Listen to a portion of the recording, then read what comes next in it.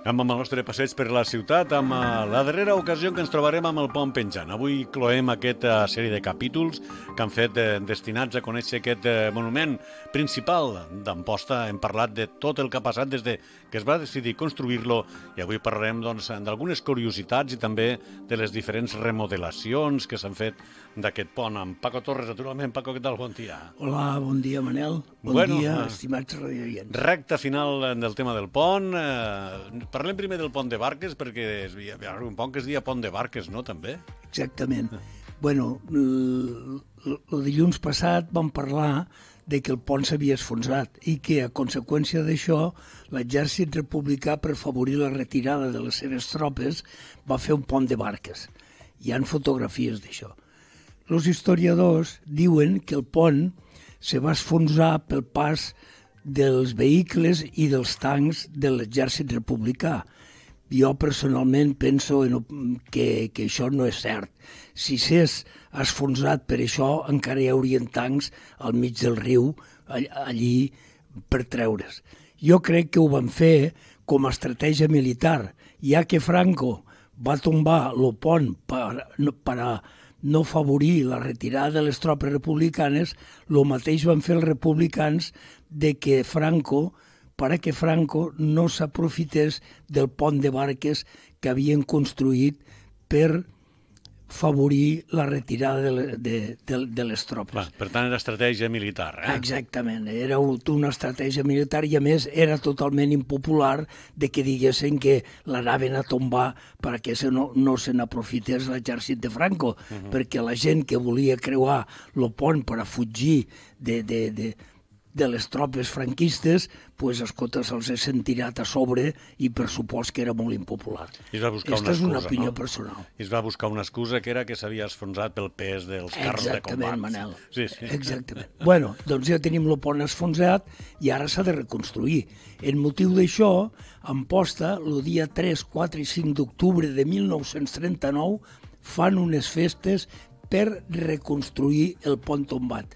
Fixa't, Manel, que el pont se va tombar el 10 de març de 1938 i el 3 i 4 i 5 d'octubre de 1939 ja estava reconstruït.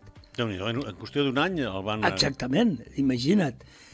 I eh, en esta reconstrucció se van traure les voreres que anaven interiorment per dins de la calçada i es van fer els passadissos exteriors. Posteriorment, l'any bueno, se van fer unes festes, va acudir molta gent, hi ha fotografies curioses, perquè les fotografies d'esta inauguració de la reconstrucció està mossèn Enrique, el bisbe de Tortosa, que són fàcilment recone reconeixibles. El bisbe de Tortosa em sembla que era Bilbao, li deien, l'excel·lentíssim senyor Bilbao. Bueno, van vindre autoritats de tota la província i hi ha fotos d'una quantitat immensa de gent que hi havia als balcons i als terrats del carrer del Pont per a celebrar esta efemèride. A partir d'aquí se'n va fer vàries de restauracions. La, la més important va ser l'any 1956-57 i en aquell mo moment se va tornar a posar en marxa el pas de la Barcassa. Ahà. Ja saps que vam dir que hi havia una concessió de l'infant Fer Ferran de 1346. Doncs se va tornar a posar en funcionament de la barcassa i recorda que es van posar semàforos, no sé si tu... Sí, jo els vaig conèixer molt poc, eh? Els semàfors que havien a l'entrada i sortida Exacte, del en un, en un lletrero que dia un solo camión en el puente. Sí, bueno, sí, sí. doncs se va fer esta restauració i es va aprofitar per reforçar el pont posant, en vez de sis gúmenes per pilastra per cada part, se'n van posar vuit. Esta és la, la cosa més significativa d'esta nova restauració del pont. Després, és curiós perquè el 1965 se va posar la primera pedra del pont de la Nacional 340, que és el pont que ara d'esta mena d'autovia que té dos Sí, carrils per sí, cada sí. part. També ho recordo, eh? Ja... 1965, just quan feia 50 anys de la col·locació de la primera pedra. Bueno, recordo la inauguració del pont, no la primera pedra. Bueno, doncs la, sí, la inauguració es va fer el 1968, me sembla, uh -huh. que va vindre Silva Muñoz el ministre. Sí. Això, això no ho recordo. Era alcalde Pedro Margalef Benet. Jo bueno, recordo que van llançar molts de globus.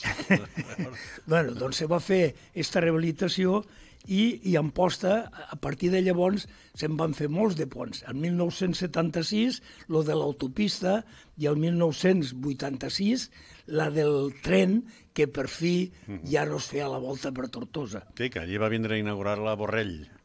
Exactament. Uh -huh. El 1977 s'obre novament el trànsit el nou pont de la, el nou pont de la Nacional 340 i té dues vies en cada sentit. El pont penjant resta molt alliberat de l'intens tràfic, però el local també el fereix. Cal conservar-lo i en, en, perquè està en mal estat. I en aquest sentit, el 2004 es fa un estudi per obres públiques des de Madrid i es decideix rehabilitar-lo. Esta rehabilitació dura 25 mesos, del 2007 al 2009, i s'inaugura el 13 de juny de 1913, em sembla. 13 de... 2013. Eh? I es fa una festa... El 2013, no el 1900. Sí, del 2013. Mm. Eh, el 13 de juny de 1900. No, del, del, del 2013, no? Exactament, mm -hmm. del 13 de juny. I es fa també unes grans festes. Era alcalde, em sembla, que, que Manel, Manel Ferrer. Mm -hmm. Bueno, va estar molt de temps tancat al carrer del Pont, mentre van fer totes aquestes obres, etc etc. Bueno, referent amb aquesta última rehabilitació, vull explicar-te una mica una anècdota curiosa sobre aquest aspecte.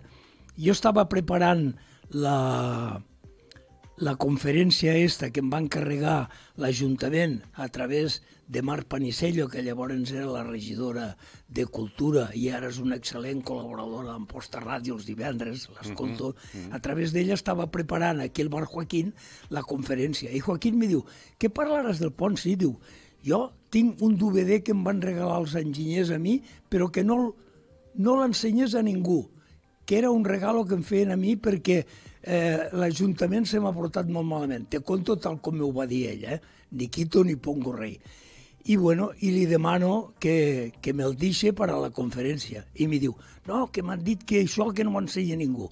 bueno, jo vaig telefonar a la Jefatura d'Obres Públiques de Tarragona preguntant al, al tindre la negativa d'ell de que no em deixava aquest DVD per fer-lo a la conferència en motiu del centenari del pont, demano a la Jefatura d'Obres Públiques de Tarragona que em deixessin aquest DVD. I em diuen que ells no el tenen, que no existe. Esto no és veritat, és una ficció. Torno a insistir i al final me'l deixa i és una meravella. És una meravella, dura 20 minuts i està en dibuixos perfectament explicat tota la nova rehabilitació del pont que es va fer a la data, es va inaugurar el 13 de juny del 2013, com han dit, és una curiositat. Va dir, jo li vam dir de que per favor que fes una donació al museu perquè aquesta, aquest document era un document molt important. A la UNED lo vaig publicar i va quedar encantadíssims. Molt bé, doncs eh, aquí hem fet el repàs a les obres del pont penjant que s'han eh, fet en aquests eh, darrers anys. Per acabar, alguna cosa? Sí, home, mm, dos minutets. Eh, el pont penjant ha estat decisiu pel nostre desenvolupament comercial i social. Ens ha donat a conèixer des del Pirineu Atlàntic per tota la península. També ens ha donat una personalitat que Amposta no tenia.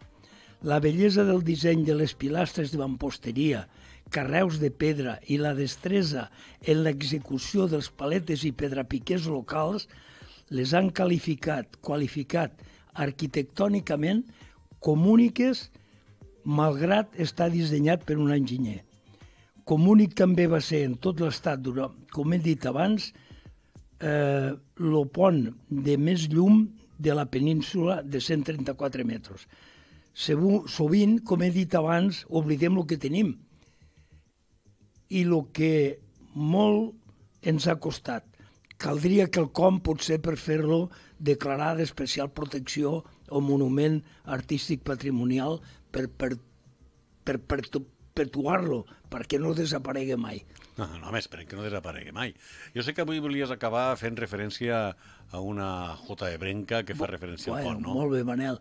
Mira, jo tenia 13 o 14 anys i d'Amposta i, eh, i Francisco Balaguer, àlies Boca de Bou, un cantador que era de Sant Jaume, era agrimensor.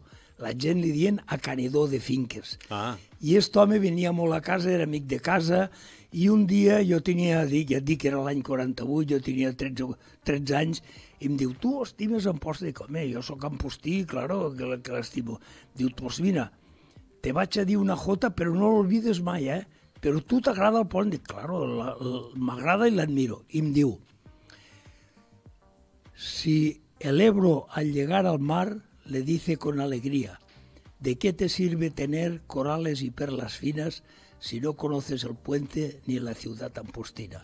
Això és l'herència que em va deixar Francisco Balaguer, àlies Boca de Bou, que crec que a Sant Jaume, el seu poble, el casal dels jubilats porta el seu nom.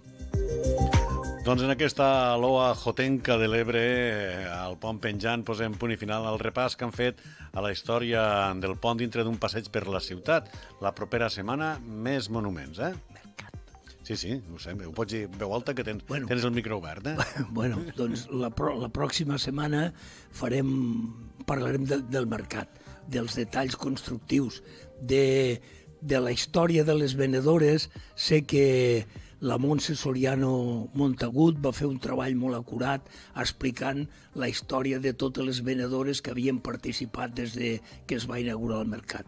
Jo me limitaré a parlar únicament del, de la construcció. Molt bé, Paco, gràcies, feliç jornada, Bon fins la dia. propera setmana, revolució, Adéu. adeu.